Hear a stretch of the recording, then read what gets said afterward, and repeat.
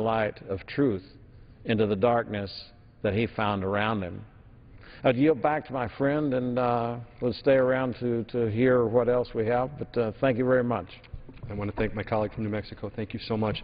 And now I want to yield to uh, my good friend from North Carolina, uh, Mike McIntyre. Thank you so much. And, Mr. Speaker, I share with these dear friends today marking the passing into glory of Mr. Charles Chuck Colson. We knew Chuck as a dear friend and Christian brother, author, radio commentator, and also one who challenged us all to think more about our worldview. With his passing, our nation has lost an uncommon leader, a true example of the transformative power of Jesus Christ, and a reminder of the beauty of second chances in life. While some will forever remember Mr. Colson for his role in the Watergate scandal, I will remember and honor him for the grace and perseverance with which he advocated for the least of these in our society, those that were marginalized, those that were seen as helpless. Through his work with Prison Fellowship, the world's largest organization for outreach to prisoners and former prisoners and prisoners' families, and through his inspirational books and commentaries, Chuck Colson touched thousands of lives and advocated tirelessly for programs that would not only address the physical needs of those in our nation's prisons, but also their spiritual needs as well.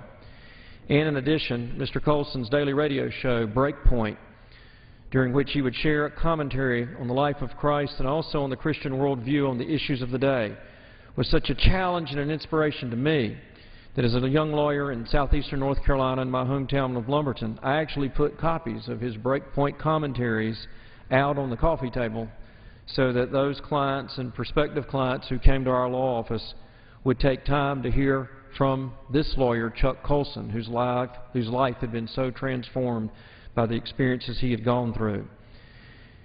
And you know, when I think about his insights, it's because they were so challenging and so clear in their wisdom that they were so touching. His books challenge you to think deeply about your own calling in life. What was God calling you to do? And how could you take even the worst of experiences, such as he went, I remember describing looking out on the south lawn of the White House, thinking he was just one door down from the president, and the neatly manicured lawn. I remember Chuck two or three times in different testimonies describing that experience and thinking, you know, I've made it. But then Chuck Colson went from the White House to the very depths of understanding what it meant to be in prison. But instead of letting that ruin his life after the Watergate scandal, he came out of that with his life being changed. His great book, Born Again, was a bestseller back in the 1970s when I was in college.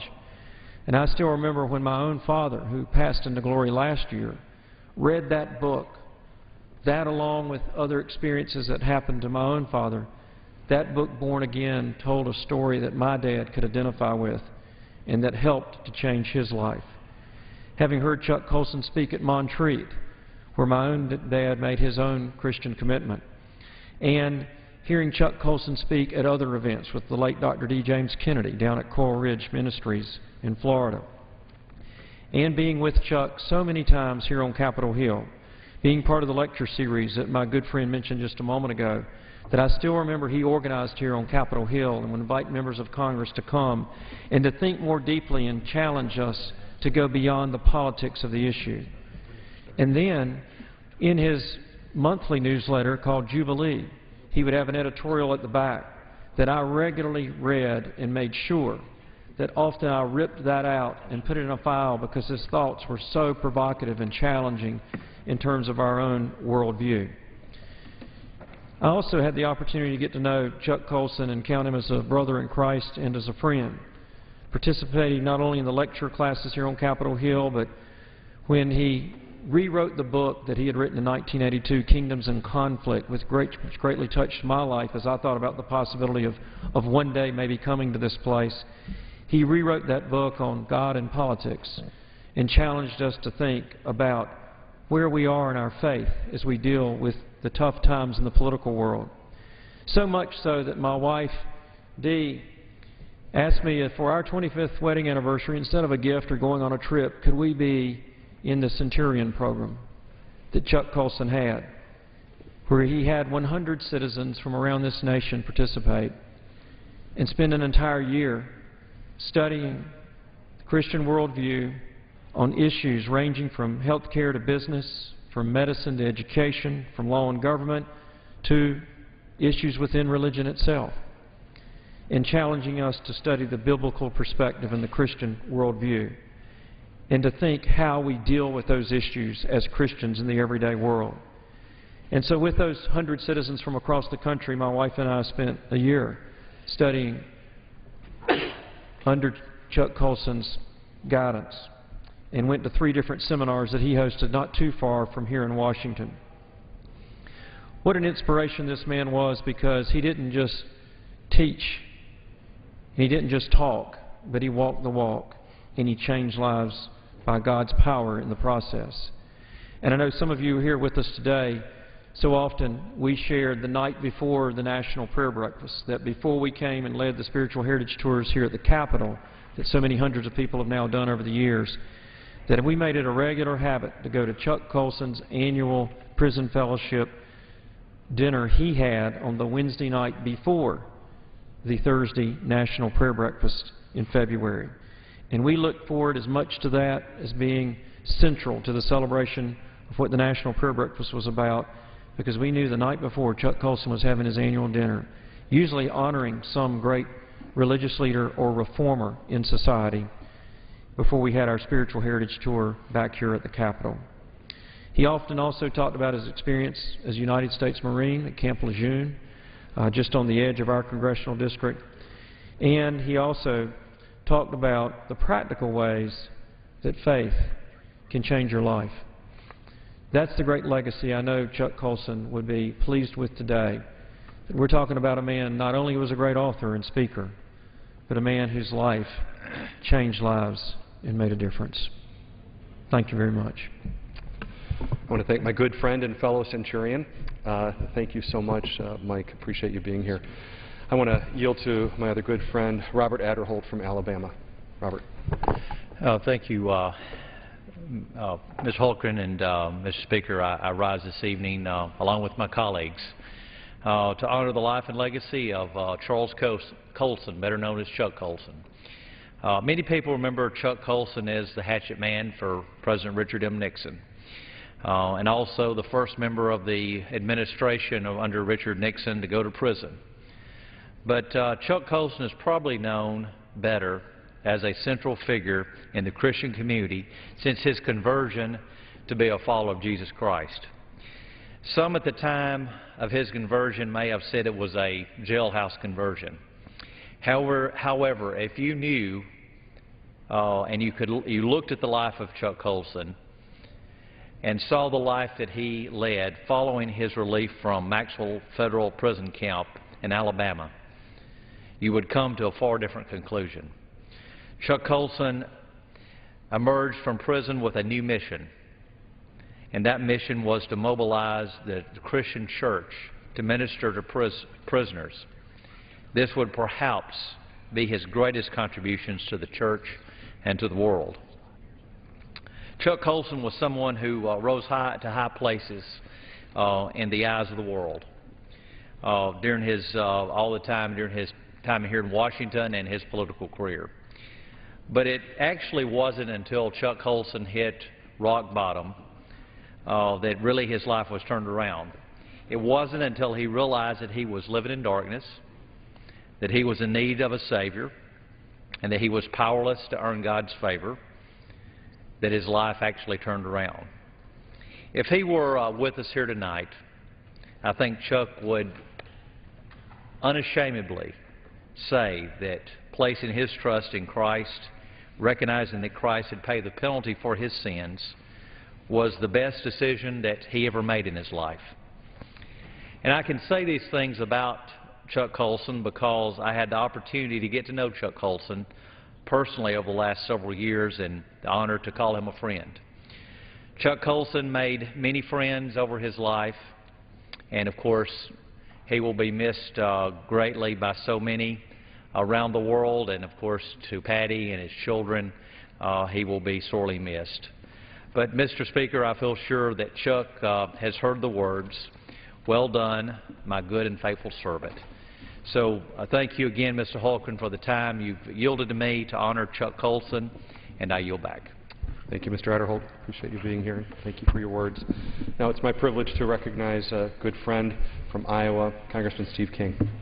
I thank the gentleman, and Mr. Speaker, I I rise also uh, to offer my most appreciative words uh, for the life and the gift to all of us that was the life of Chuck Colson. And a lot of us got to know Chuck Colson as he came before our conference uh, on occasion, a Republican Study Committee on occasion, and professed his conversion. And when one listened to Chuck Colson talk about how his conversion took place, how he hit rock bottom, as the gentleman from Alabama just said, how he accepted Jesus Christ as his personal Savior and accepted a new direction in life, a direction in life that had lasted for 40 years. A man that was at the pinnacle of power in the world found himself in prison for about eight months in Alabama. And out of that prison, he came back and, and hit bottom and was launched not at the pinnacle of uh, the power in the world, not this world power, but he was at the center of the voice of the real power in the universe. And his voice, his inner voice, the spirit within Chuck Colson spoke to all of us. I, um, upon learning of his death, I sent out a tweet in those days, and it reads like this Chuck Colson from Watergate to evangelical Christian to prison fellowship to heaven in 80 years. Rest in peace, Chuck. How now shall we live? How now shall we live, Chuck Colson? Well, live by the model that he had. It was a blessing to all of us that he went through the difficulty that he did. If he hadn't been formed and shaped in that way, I don't know that we would have seen the Chuck Colson that we knew that we're saying goodbye to here tonight, that whose, life we honor so much. His activities in prison fellowship set a standard that had not been seen in this country or in the world, and the recidivism rate of uh, prisoners that didn't take part in the prison fellowship is extremely high. I haven't committed my that number to my memory, but it seems to me that those who went through the prison fellowship, those who accepted Jesus as their Savior, and I have met with them uh, in the prisons in Iowa that were part of the prison fellowship effort. The recidivism rate, by memory, not by research, was only 8%. That it was a tremendous thing to, to mentor so many prisoners in and out of prison and the families of prisoners. He went the place where he had known despair and gave hope in the very heart of the place where Chuck Colson had known despair. And I think that the testing of Chuck Colson turned him into the man that was a gift to this country and a gift to the world, to the entire world. I, I remember a prayer that I offered for years and years throughout the farm crisis years of the 80s, the difficulties of the 90s, and it was, Lord, Please be finished testing me and start to use me. I don't know if Chuck Colson ever offered that prayer, but I think he would agree with me that there was a time that he was tested. There was a time that he was he, he went through that test in the pinnacle of power, and, and through that test in prison. And there's no question that the Lord used Chuck Colson, tested him for 40 years, used him for 40 years, Chuck Colson is a gift to America and a gift to the world. And I saw a little quote in an article written about him that I thought was um, useful and informative. Uh, his, his, the light just emanated from Chuck Colson. You knew that he understood. He wrote eloquently about the depth of his faith and the meaning in our lives in this life and in the next, and the power of redemption. And this, and this quote uh, was written about him. I should actually uh, note the author, and I, in fact I will because it's useful. The author is Michael Gerson, who, who wrote an article about him on April 22nd. He said, Chuck spent his, his, the last 40 years of his life dazzled by his own implausible redemption. He knew it was a gift. It was implausible that a person as humble as Chuck Colson could be the recipient of this gift of grace. Yet that gift shined from him uh, like a lamp on a lampstand, not under a bushel basket. It was a light that shined across this whole country, and it shone into this United States Congress over and over again. Uh, he was a core for the values of our faith. He was a core for the values of our morality. He, he brought our thoughts together on the meaning of our service, our service here in this Congress and our service uh, to the world. And I think he gave hope to many in despair. Many of those that served their time in prison were given hope and inspiration grace, and salvation because of their exposure to Chuck Colson, the inspiration that he was. His life dazzled by his own redemption. We're dazzled by the life of Chuck Colson. And I yield back to the gentleman. Thank you. Thank, I want to thank my colleague from Iowa. It's now my privilege to yield uh, to my good friend from Texas, uh, Louis Gohmert, whenever he's ready there.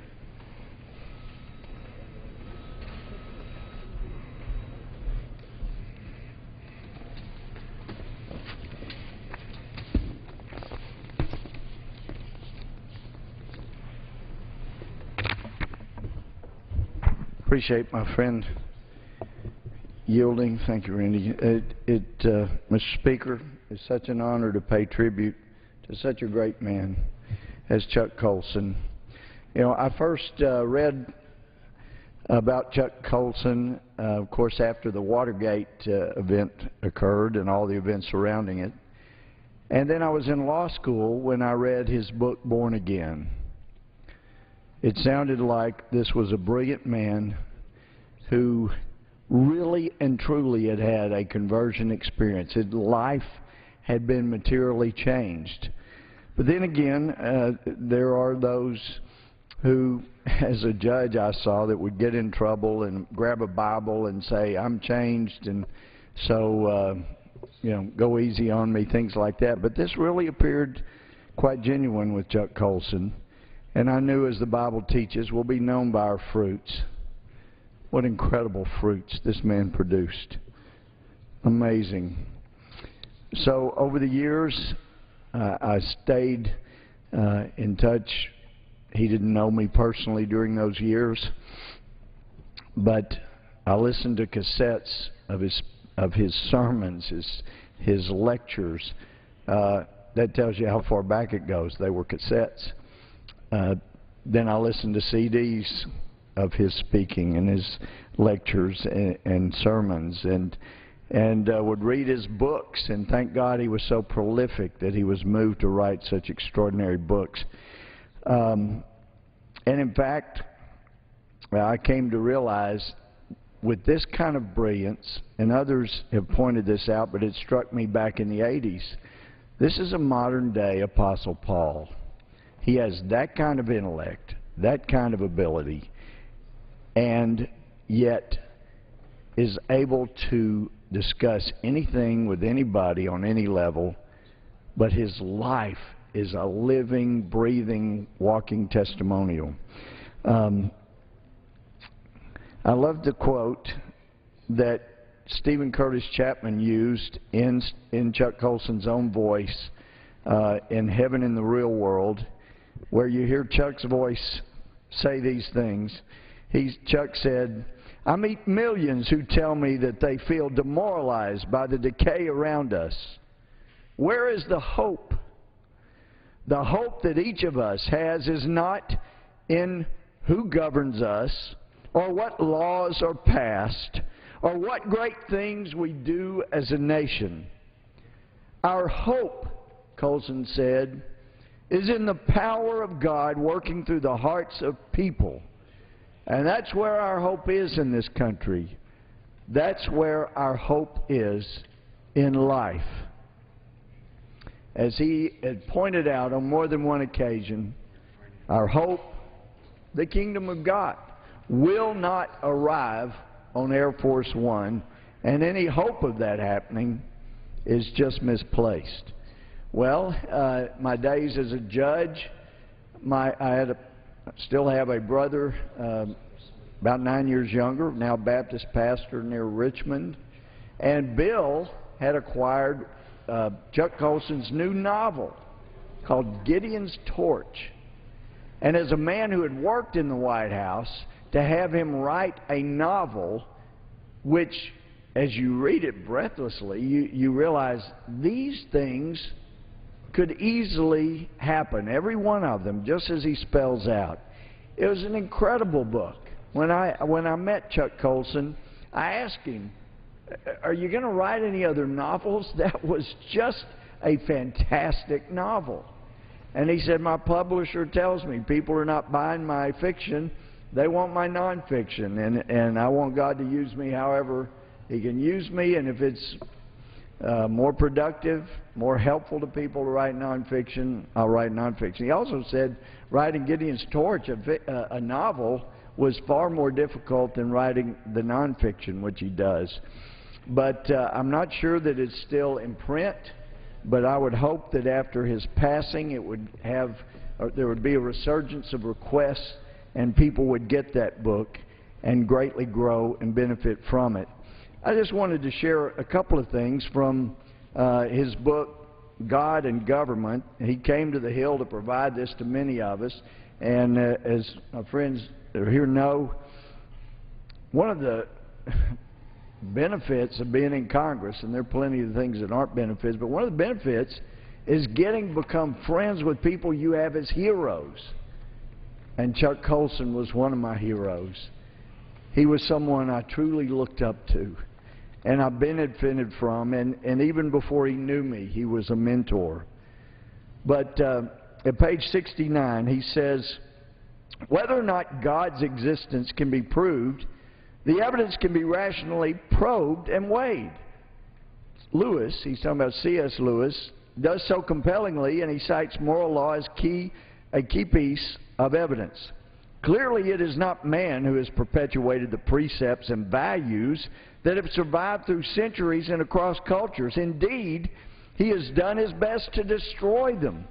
The nature of the law restrains man, and thus it is, its very survival presupposes a stronger force behind it God. Or consider the most readily observable physical evidence, the nature of the universe. One cannot look at the stars, planets, and galaxy, galaxies millions of light years away, all fixed in perfect harmony, without asking, who orders them? For centuries it was accepted that God was behind the universe because otherwise the origin and purpose of life would be inexplicable. This traditional supposition was unchallenged until the 18th century age of reason when Enlightenment, Enlightenment thinkers announced with relief that the origins of the universe were now scientifically explainable. But in the past few decades, science has completely reversed itself on the question of the origin of the universe. After maintaining for centuries the physical universe is eternal and therefore needs no creator, science today has uncovered dramatic new evidence that the universe did have an ultimate origin, that it began at a finite time in the past, just as the Bible teaches.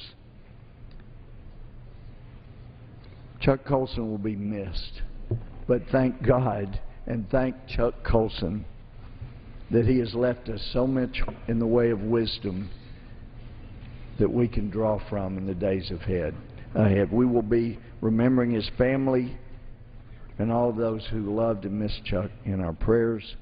And with that, I appreciate being yielded to on behalf of Chuck Colson. Thank you very much. Thank you, Congressman Gohmert. Appreciate it.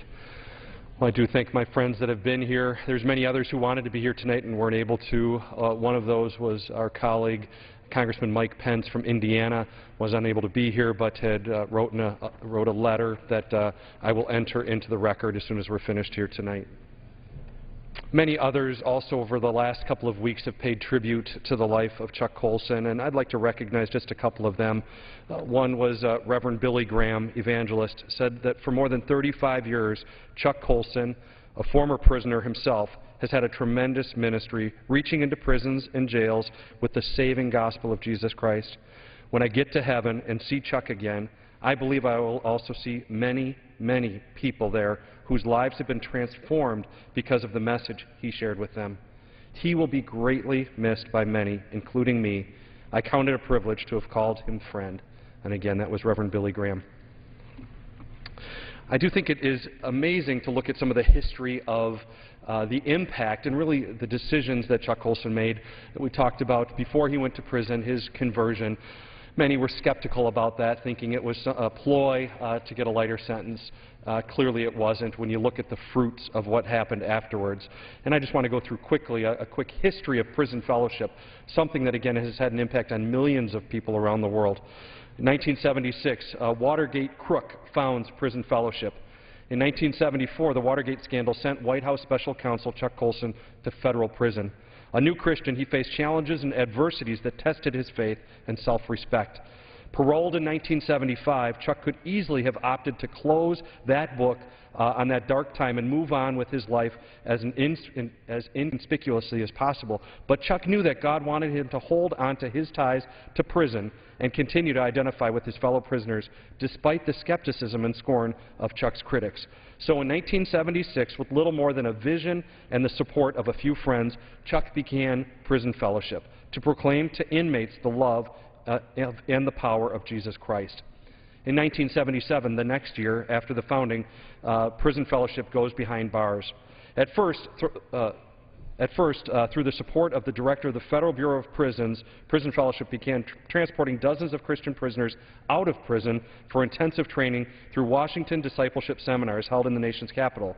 Those prisoners then were returned to prison to evangelize and teach their colleagues. But in 1977, Prison Fellowship ran into a hurdle when a warden from Wisconsin refused to furlough one of his prisoners to attend the Washington discipleship seminars. Instead, he challenged, if your program is so good, why don't you bring it inside the prison? Chuck and his team were up for the task, and three weeks later, 93 inmates attended Prison Fellowship's first ever in-prison seminar in Oxford, Wisconsin. That seminar paved the way for hundreds of thousands of prisoners across the country to receive biblically based teaching through in-prison seminars and Bible studies over the past 33 years. That first in-prison event also reinforced the importance of training local volunteers to go inside prisons and build relationships with inmates. Uh, today, Prison Fellowship's ministry relies on a volunteer network of well over 20,000 volunteers. 1979, Britain catches the vision. Prison Fellowship International takes off. In 1982, ex-bank robber uh, reaches out to prisoners' kids and starts Angel Tree. The same year that Chuck started Prison Fellowship, a former bank robber named Mary Kay Beard was released from prison in Alabama. And in Chuck's life, as in Chuck's life, God's grac graciously transformed the shame of prison into a golden opportunity for ministry. In anticipation of Christmas 1982, Mary Kay organized Angel Tree, a ministry to provide gifts to prisoners' children on behalf of the incarcerated parents. Beginning with 556 children that first year, Angel Tree has since exploded into a geyser of ministry opportunities, reaching more than 400,000 American children of prisoners uh, every single year and their families with the transforming message of Jesus Christ. Over 6 million children have received gifts from Angel Tree uh, from their parents, donated by somebody else uh, in the name of their parents. Again, the, the lost victim oftentimes of crime. In 1983, Justice Fellowship hits the stage. As Prison Fellowship was expanding its ministry inside prisons, its leadership saw firsthand all the signs of a justice system in chaos, overcrowded and violent prisons, neglected crime victims, communities shattered by crime. In 1983, Justice Fellowship was formed to promote biblical standards of justice in our nation's justice system. Justice Fellowship volunteers successfully implemented reforms across the country victim offender reconciliation programs, alternatives to incarceration for nonviolent offenders, victims' rights legislation, and more. In 1995, former California legislator and ex-prisoner Pat Nolan took the helm of Justice Fellowship and has since spearheaded efforts to pass the Religious Land Use and Institutionalized Persons Act of 2000, the Rape, Prison Rape Elimination Act of 2003, and the Second Chance Act of 2007. In 1992, Operation Starting Line sweeps North Carolina. 1991, North Carolina's Secretary of Correction Aaron Johnson was pondering the condition of his prisons and saw only one solution, spiritual transformation. In an unprecedented move, he invited Prison Fellowship into every prison in North Carolina to lead a contemporary version of an old-time revival meeting. So in the fall of 1992, using teams of professional athletes, musicians, comedians, and powerhouse speakers, Prison Fellowship's inaugural Starting Line evangelistic campaign swept through all of North Carolina's 90-plus prisons, sharing the life-changing message of Jesus Christ. Since North Carolina, similar evangelistic events have spread to prisons all across the country, and in 1999, Prison Fellowship joined other Christian organizations to launch Operation Starting Line, now in, aff in affiliations of 37 ministries committed to prison evangelism. And then in 1997, a new kind of prison ministry is born, uh, InnerChange Freedom Initiative, was founded, a values-based reentry program founded upon the teachings of Christ. With the full endorsement of then-Governor George W. Bush, Prison Fellowship and the state of Texas partnered to launch the very first IFI program in a prison unit near Houston. Uh, InnerChange Freedom Initiative immerses its inmates, all volunteer participants, in spiritual, educational, vocational, and life skills training from an unmistakably Christian perspective. Today, IFI is active in both men's and women's prisons in five states. Arkansas, Kansas, Minnesota, Missouri, and Texas, and many other states are seeing the value of this, of really turning around recidivism, that we've got to provide all of this for our inmates, uh, for them to really have true life change. After God parted the Jordan River, allowing the Israelites to cross on dry land into their new home, he commanded them to erect a memorial of stones. These would stand as a reminder of the miracles God had done for them. Joshua explained, Today we seldom use stones as reminders of God's provision. Instead, we preserve God's works in written accounts and photographs. But the reason remains the same, to remember the hand of the Lord is powerful. That was from Joshua 4.25. And by his hand he leads us. Since this time, Prison Fellowship has continued to minister around the world. But Chuck Colson also had other uh, activities. I've already talked about, and Congressman McIntyre talked about the Centurion program, the impact that it had on our lives. A hundred uh, citizens each year going through the Centurion program.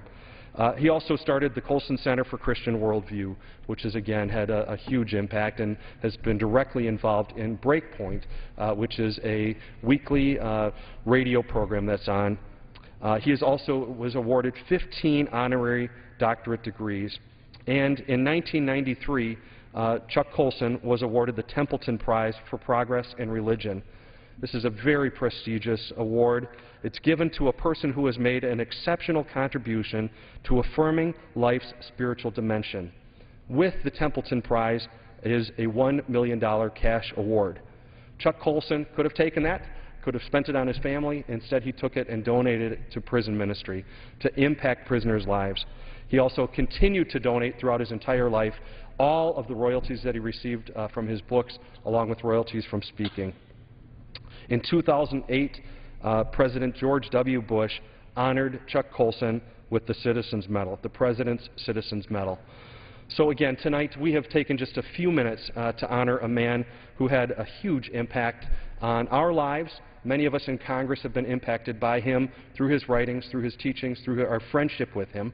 He has also had a, a, a huge impact on prisoners around the world and the plight of prisoners and recognizing that all human life is valuable and needs to be respected and honored and uh, treated with that respect that it deserves. From the, the service today, there was a couple different things, and I want to close with this. I know I just have a few minutes left, uh, but uh, there was a couple different uh, readings that were done at the service, and I would like to uh, close with this.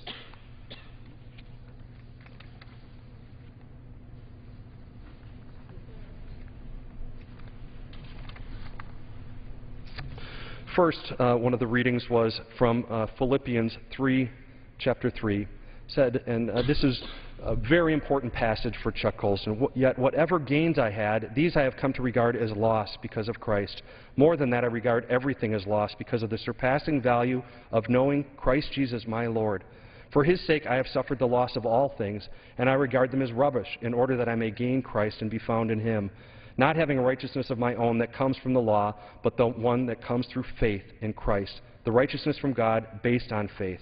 I want to know Christ and the power of his resurrection and the sharing of his sufferings by becoming like him in his death, if somehow I may attain the resurrection from the dead. Not that I've already attained this or already reached this goal, but I press on to make it my own because Christ Jesus had made me his own. My friend Steve King had talked about this radical transformation in his life. And this verse pointed to that radical transformation where he could have had everything in this world, was right there next to the seat of power in the presidency, and saw how fleeting that was. Could have had money and resources when he got out of prison uh, in a career in law or so many other things, but instead uh, decided to give back to prisoners and to others as well. Many would ask, why would he do that? Well, there was another passage that was read today. This was read by one of his grandchildren. And it said, uh, this is from Matthew 25. Uh, and this was Jesus said, Then the king will say to those on his right hand, Come, you that are blessed by my Father, inherit the kingdom prepared for you from the foundation of the world. For I was hungry, and you gave me food. I was thirsty, and you gave me something to drink. I was a stranger, and you welcomed me. I was in prison, and you visited me. Then the righteous will answer him, Lord, when was it that we saw you hungry and gave you food, or thirsty and gave you something to drink? And when was it that we saw you a stranger and welcomed you in, or naked and gave you clothing? And when was it when we saw you sick or in prison and visited you? And the king will answer to them, Truly I tell you, just as you did it for one of the least of those who are members of my family, you did it to me. Then he will say to those on his left hand, You are the accursed. Depart from me into the eternal fire prepared for the devil and his angels. For I was hungry, and you gave me no food. I was thirsty, and you gave me nothing to drink. I was a stranger, and you did not welcome me. Naked, and you did not give me clothing. Sick, and in prison, and you did not visit me. Then they will also answer, Lord, when was it that we saw you hungry, or thirsty, or a stranger, or naked, or sick, or in prison, and didn't take care of you? Then he will answer them, Truly I tell you, just as you did not do it to one of the least of these, you did not do it to me. Chuck Colson saw what his God had done for him, the incredible power of his redemption and transformation that happened in his life, and wanted to share that with those of greatest need. He saw that as, as the weakest, the poorest, those in prison. He was also dramatically impacted by his grandson, Max. Uh, Max is diagnosed with autism. And through Max, again, Chuck, Chuck saw the incredible value of every single life. And Chuck was a hard driver, a, a type A personality to the maximum. Uh, but he learned from his grandson, Max, patience and understanding uh, and love. And so I am so grateful again for the relationship that I've been able to build with, with Chuck Colson uh, and with his family. We will miss him so dearly. I want to end uh, this time again by reading from one of Chuck Colson's books, and I think this is uh, so powerful. This again was part of the ceremony today, the memorial service over at the National Cathedral. And this was from Chuck Colson's book. It's him uh, talking uh, in his book, Loving God, uh, and it's uh, quoting for Easter 1980. As I sat on the pl platform, and this is Chuck Colson talking, as I sat on the platform waiting my turn at the pulpit, my mind began to drift back in time to scholarships, to honors earned, cases argued and won, great decisions made from lofty government offices.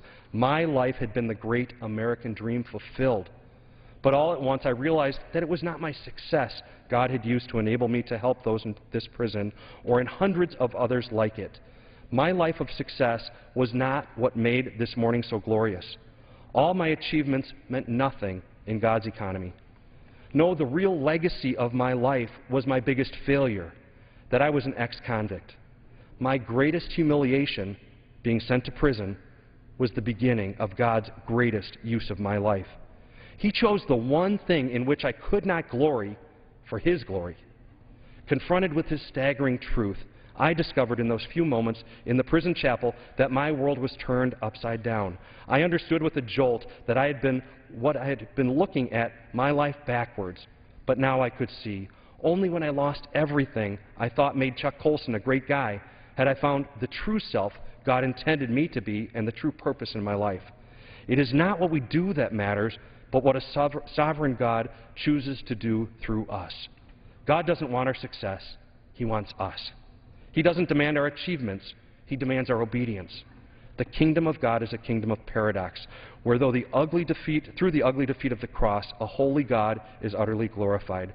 Victory comes through defeat, healing through brokenness, finding self through losing self. Chuck Colson truly was one of my heroes, someone I'm going to miss greatly, someone that impacted my family. I will think of him all the time when I look at my own son, Colson, named after Chuck Colson. But I just want to thank uh, my friends for joining me tonight to honor this great man, honor this great life, and be challenged together to follow the example that he left for us. Thank you, Chuck. We'll never forget you. I yield back. Gentleman yields back. Under the Speaker's policy announced uh, January 5, 2011, the Chair now recognizes the gentleman from California, Mr. Rohrabacher, for 30 minutes.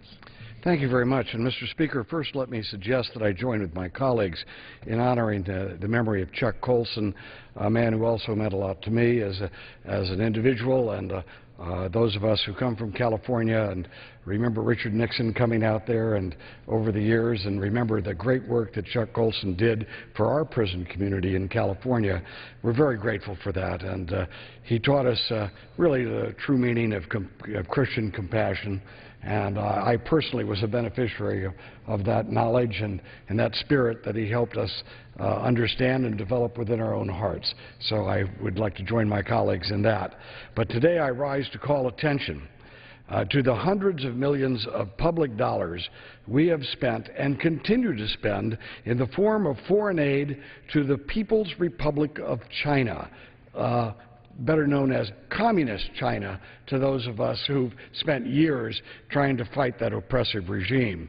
Our national debt is over $15.7 trillion and is growing. $1.5 trillion more every year uh, than we are spending more, $1.5 trillion more than we're taking in. And 43 cents out of every dollar we spend is borrowed money and Communist China is the single largest foreign holder of United States debt. The interest we pay on this ever-growing debt is increasingly squeezing out spending on other worthwhile programs. Why then are we borrowing money from the Chinese Communist government to be uh, repaid, of course, with uh, interest and then using that borrowed money to finance programs in which we are giving money uh, to these various programs that goes to China, the country from whom we are borrowing. Uh, remember, the, gov uh, the, government of this uh, aid recipient considers the United States its enemy. They are happy to loan us the money, and they are happy that we are stupid enough to give it back to them as in, in, terms of aid and, yes, other type of programs, including giving it back to them in investments. We are strengthening the government that considers us an enemy. And uh, as we look into uh, this situation, we know that they see the U.S. as their enemy, just as Japan saw us as their enemy before World War II, the Japanese militarists, just as Nazi Germany saw the American people as their enemy, and just as the communist governments that threatened the world for over four decades after World War II, just as they saw the United States as their enemy. Yes, we are the enemy of tyrants and vicious regimes that are expansionary and threaten the peace and the freedom of the world. We can be proud of that. The Chinese know that. That's, the communist Chinese know that. That's why they don't like us. That's why they consider us their enemy. China is the world's largest human rights abuser. Chinese, China's government smashes those who advocate freedom of the press, freedom of religion, those who, uh, of course, who suggest that the Chinese government should be accountable to its people are arrested and thrown into jail or murdered. It arrests Chinese practitioners of Falun Gong, for example. Falun Gong is a Chinese religious movement which stretches or stresses yoga and meditation. Beijing has these devout and passive people practitioners in a, in a simple yoga uh, religion that, that is, is meditation, and and these people are arrested and they're thrown into prison where they are murdered. And then the Chinese government, after murdering these people for their religious convictions, sells their organs and body parts. It doesn't get much more ghoulish than this.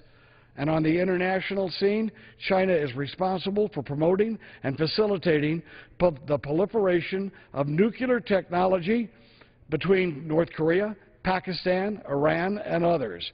China is responsible for empowering the Burmese junta that imprisoned Aung San Suu Kyi for years. It has allied itself with rogue regimes all over the world, like Sudan and, and, and in Venezuela and other regimes that are, that are tyrants in their own country and threaten the security of their, of their neighbors and of the United States. China's aggressive foreign policy and hostile naval actions are threatening the sovereignty of American allies like Japan and the Philippines. It is Communist China that has sto stolen and is currently stealing most of our prized military and commercial secrets. China has stolen the designs for every one of our nuclear warheads. The Chinese cyber spies have stolen all of our, our trade secrets and all of the money that we put into uh, to, to invest in research and development, they steal and utilize. No wonder their rockets now are, are, are, are, as head, far ahead in the rocket program as they are. When they took the technology from us, they stole it from us. They have infected our, our uh, critical electronic technology infrastructure with malicious viruses. And then they, of course, break into our classified systems. It is China which has embarked on the most significant arms buildup since the Cold War, and I ask, who do they think is their enemy? Who do they think is their enemy? The United States of America. While we not only become uh, uh, susceptible to them, not only do we become, uh, put ourselves in an inferior position by borrowing money from them, but we also end up giving that money back to them in aid programs. And that is what I would like to talk about tonight. The fact that how can we possibly borrow money from the world's worst human rights abuser, a country that looks at us as our enemy, then we become vulnerable to that country. But at the same time, while we are becoming vulnerable, we then increase our investment in the private sector in that company, but also we have spent hundreds of millions of dollars in aid programs to the communist Chinese regime. Uh, and uh, well, with that in mind, I asked the Congressional Research Service to assemble a list of programs that the Congress funds that go directly to supporting development and the economy of China.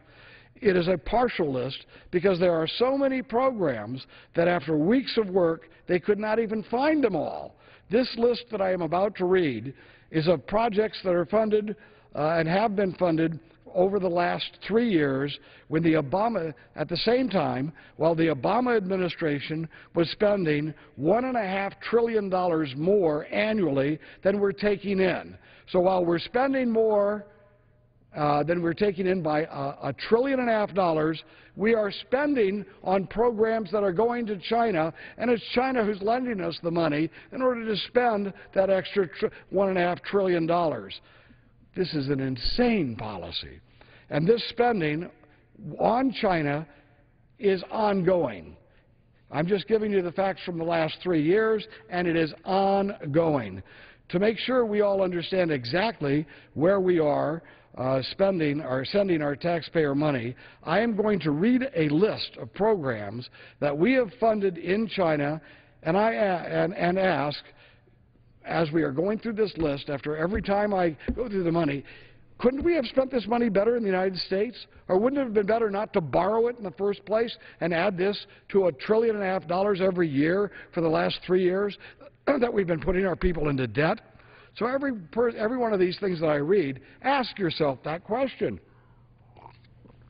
Why are we, is this in the best interest of the United States? Is it in the best interest of our children who are putting more in debt by borrowing and then giving it to China and having to pay the interest? They're going to have to pay off the loan and the interest to China in the future. So here's a partial list, and I'm going to round off the figures to an understandable number. Why did the, and many of these deal with, quote, environment. Why are we trying to make the environment in China better so that the people of China can basically outcompete us uh, in, in our business dealings. That should be part of their, the cost of production in China. But no, we are picking up that cost. Not only that, we are, our people are investing in China and building their factories. Why did the EPA give, for example, $141,000 to the Institute of Environment and Sustainable Development in Agriculture to reduce greenhouse gases in China? in China? Why did the EPA give $125,000 to the Eastern Research Group that reduces greenhouse gases in China?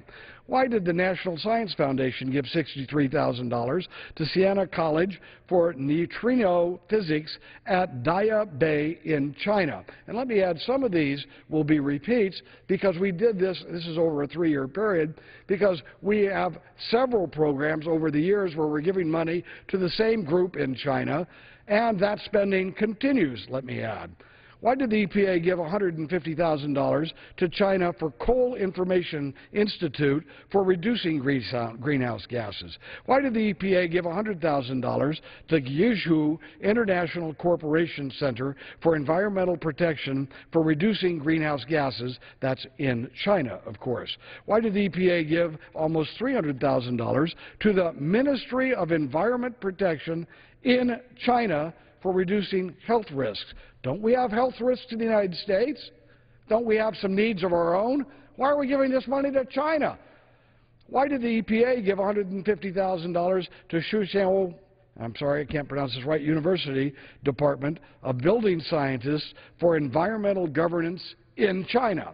Why did USAID give the Asia Foundation almost $2 million, it was $1.700,000, to build environmental governance in China. Why did the USAID give a half a million dollars to the American Bar Association to build environmental governance in China? Don't we have some things in the United States where we could use a $500,000 uh, grant to some of our local communities? Couldn't they use some help? Instead, we sent it to China. But first, of course, we borrowed it from China. So to give it to them, we'll have to repay China and the interest in order to give it to them. Why did the USAID give $300,000 to the University of Massachusetts to improve the quality of judicial education in China? We're going to give $300,000 in order to improve judicial education in China?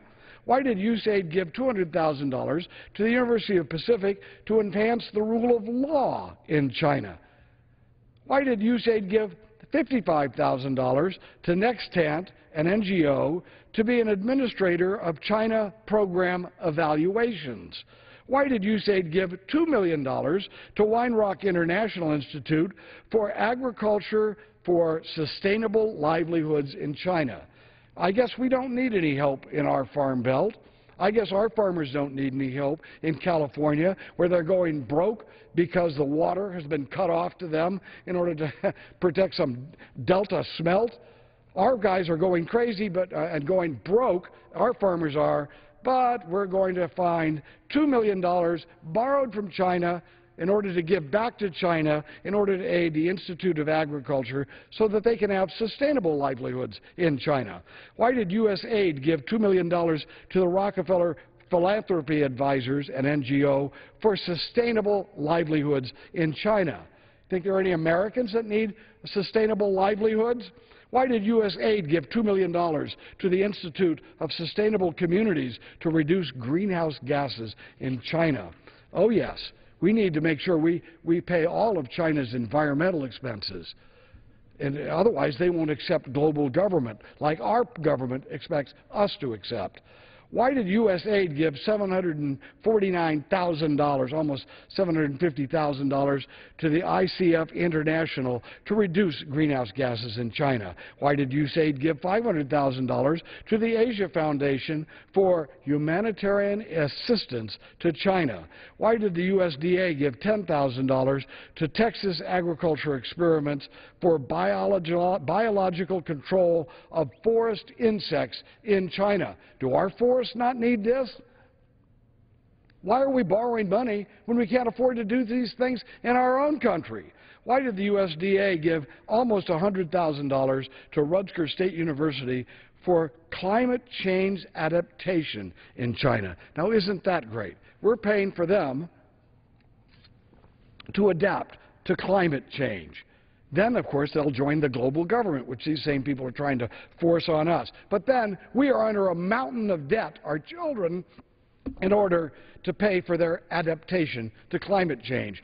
Not, of course, to say that anybody in the United States, our farmers or any other industry, doesn't need to adapt to the different changes that go on in the climate, even if they are natural changes in our climate.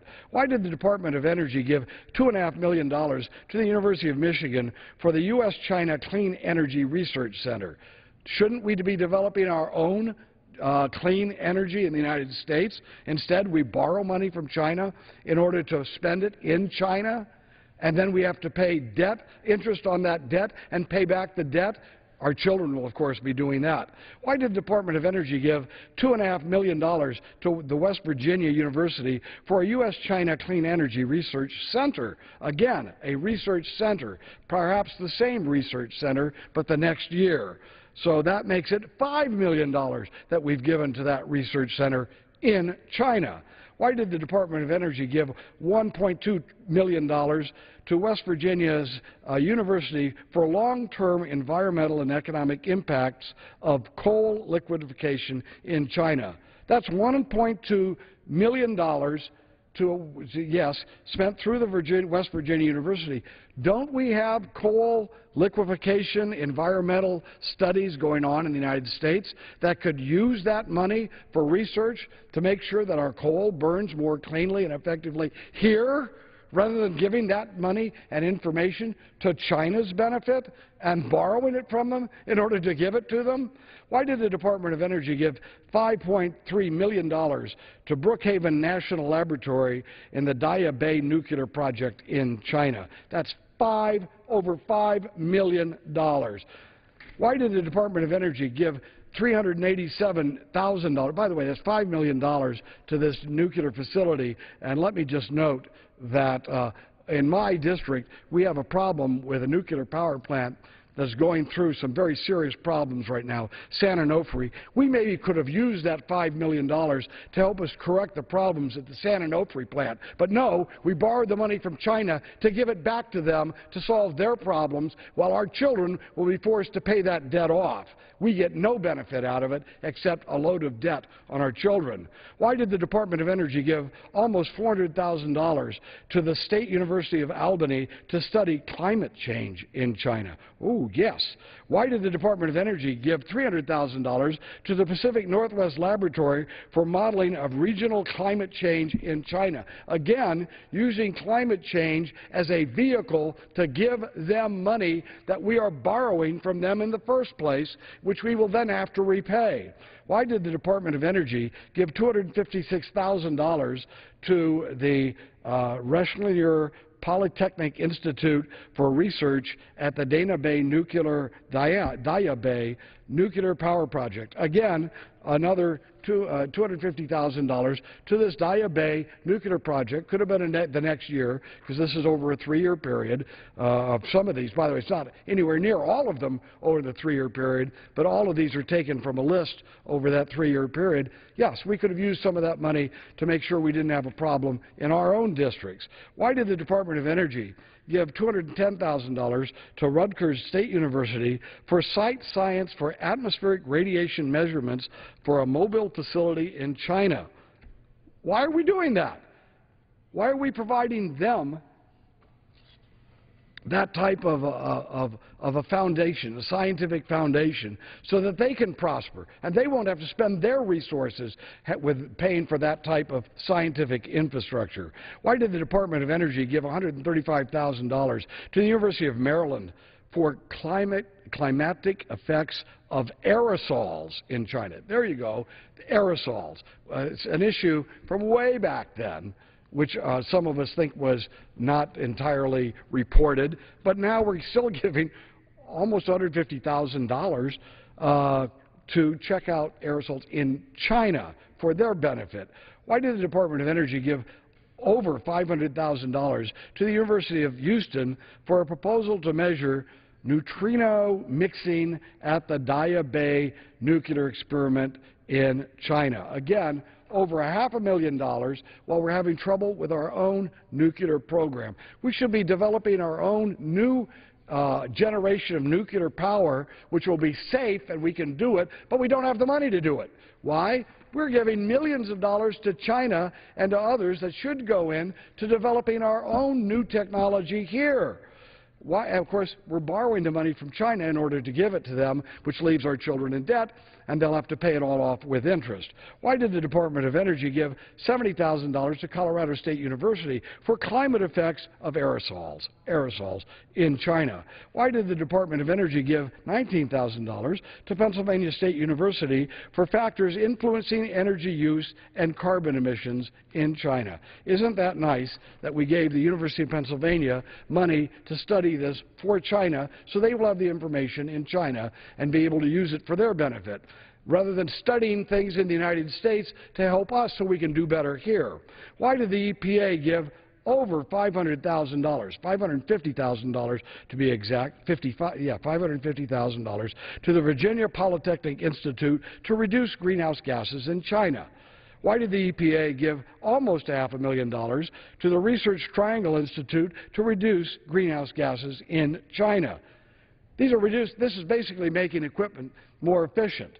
Why aren't we making our equipment more efficient? And the Chinese should buy it from us rather than having us having to locate our manufacturing plants in China. Yeah, let them buy it from us. How about that? Give our own people jobs rather than borrowing money so that they can have the technology and we are going in debt so they can have the technology and our children will have to pay the debt back with interest and they will sell us the equipment. The Chinese will sell it to us in a generation. Why did the EPA give $300,000 to the Energy and Environmental Development Research Center to reduce greenhouse gases in China? Why did the EPA give almost $250,000 to Research Triangle again, probably a second year of their grant, to reduce greenhouse gases in China. Why did the EPA give almost $200,000 to the China University of Petroleum in Beijing to reduce greenhouse gases in China? Can't any of our people use this research money to help our countries and our technology become cleaner and more efficient? No, we're giving it to China and then they will sell that technology back to us after they manufacture it years ahead of us because we subsidized their R&D. Why did EPA give almost $200,000 to the China Urban Construction Design and Research Academy to reduce greenhouse gases in China? Why? Again, here we are spending money to help them design houses in China. Wonderful. None of our designers need any help. Why did the EPA give almost $300,000 to the research, Eastern Research Group to reduce greenhouse gases in China? Why did the EPA give over $100,000 to Guangzhou City, China, to reduce greenhouse gases? Why did the EPA give $110,000? Again, uh, to Jingzhou International Cooperation uh, Center for Environmental Protection to reduce greenhouse gases in China. Do we have no need for this money in the United States? Does our equipment not need to be more efficient? Should we not be investigating putting money into development of, of cleaner energy sources here? The, all this money we're giving away, we could be developing clean energy sources. If nothing else, the new generation of nuclear power plants, which is starving for research money. No, we're giving it to China. Why did the EPA give almost $100,000 to China University Petroleum in Beijing to reduce greenhouse gases in China? Why did the EPA give $200,000 to the California State University at Fullerton to reduce greenhouse gases in China? Why did the EPA give $85,000 to the ICF International to build climate change management capacity in China? Why did the EPA give $135,000 to Information Institute to reduce greenhouse gases in China? Why did the EPA give over $50,000 to Advanced Resources International to reduce greenhouse gases in China? Why did the EPA give $31,000 to the Energy and Environmental Development Research Center for biogas development? And each and every one of these items I'm talking about is an item where we spent money out of the federal budget, took it out of the taxpayers' pockets, or actually we borrowed it from China and then left them with the debt in their pocket, the IOU in their pocket, and gave it to China. Rather than taking that money, those resources, and spending it in the United States to develop technology here. And like I say, I've been struggling for years to get the new generation of nuclear power developed, that technology developed here, and it has been starved. It has not been given what it needs, and we're giving away these hundreds of millions of dollars to the Chinese, which we, of course, are borrowing, and in the end, we will pay them. We will pay them for the technology to, because they will be sending the manufactured items here. Why did the EPA give $30,000 to China Association of Rural Energy uh, Industry to reduce greenhouse gases in China? Why did the EPA give seven, almost $800,000 to the China State Environmental Protection Administration to reduce transboundary air pollution? Oh, that's great. We have to pay for everybody's air pollution in the world. The China, we're borrowing money from China, but we have to pay for their reduction of transboundary air pollution. Why did the EPA give almost $200,000 to the Chinese Ministry of Environmental Protection to build environmental management capacity? Why did the EPA give $120,000 to Xinjiang Environmental Protection Bureau for water pollution management? Now, there's something we don't need any money for around our country, water pollution. I live in a coastal district. We could use that money for water pollution. We've got, we, we've got sewer pipes and water uh, purification systems that need to be upgraded. But no, we're borrowing money from China to give it to China rather than having that money spent in the United States. Why did the National Science Foundation give $62,000 to Siena College for neutrino physics at, Di again, Daya Bay Nuclear Project in China? Well, we're not spending the money here for develop our own clean nuclear energy. Why did USAID give Management Systems International almost $500,000 to improve environmental governance in China? Why did USAID give Vermont Law Schools, get into this, all, uh, $1,725,000 for improved environmental governance in China. Why did USAID give the Institute for Sustainable Communities uh, half a million dollars to save energy and reduce greenhouse gases in China? Don't we have any put, to, can't we put this use in these structures in the United States? Why did USAID give the University of the Pacific a half a million dollars for environmental governance in China? Why did USAID give the American Bar Association $500,000 for environmental governance in China? Why did USAID give the Massachusetts, uh, University of Massachusetts uh, $420,000 for environmental governance in China? Why did USAID give Organizations for Economic Cooperation and Development $150,000 for development assistance in China? Why did USAID give Management Systems International $50,000 for development assistance. Why did USAID give the Rockefeller Philanthropy Advisors $2 million for sustainable livelihoods in China? Don't we have people in the United States who need money like that? Don't we have people indeed here who need a sustainable livelihood? Why are we giving it to China and borrowing it from them in order to give it to them and leaving our kids in debt?